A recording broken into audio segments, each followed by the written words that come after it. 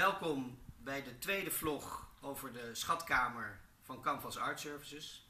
En vandaag wil ik jullie een uh, zeefdruk laten zien van een hele bekende Chinese schilder, Liu Ye.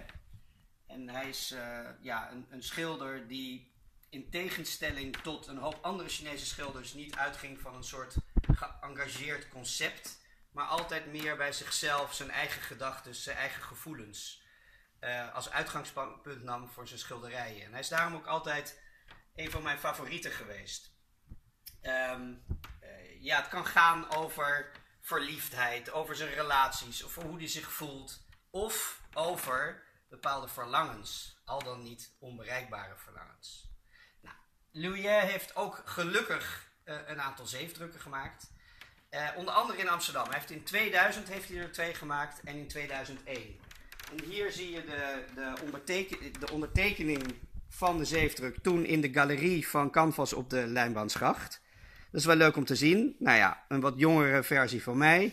Dit was de toenmalige vriendin van Louis. Dit is Zeger Rijers, de, de printmeester. En dit is George Mulder, de uitgever van het werk. En hier zit Louis uh, het werk te ondertekenen. Dus, hè, de, de print ondertekenen, jaartal, handtekening, editienummer en hup de volgende. Zo gaat dat. Nou ja, en dat was, dat was toen dit werk, wat toen ondertekend werd. Louis heeft een, uh, nou ja, een grote bewondering voor Mondriaan. Dat blijkt wel in zijn werk.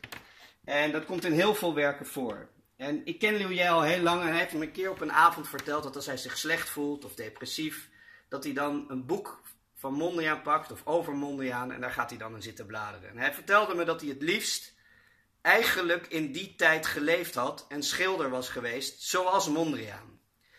Nou, en als we dan meer kijken en focussen naar dit werk, wordt ook wel Crying Girl genoemd. Het is geïnspireerd op een sprookje van Andersen, het meisje met de zwavelstokjes. Maar kijk dan, het meisje steekt het zwavelstokje af. In het sprookje heeft, kijkt het meisje naar binnen, naar een warm gezin, de kerstboom, cadeautjes, liefde, warmte, onbereikbaar voor dat meisje. Hier ligt het, boekje van, het boek over Mondriaan op de grond. Het meisje steekt een lucifer af. Onbereikbaar, maar wel troostend. Anders kijken opent je wereld.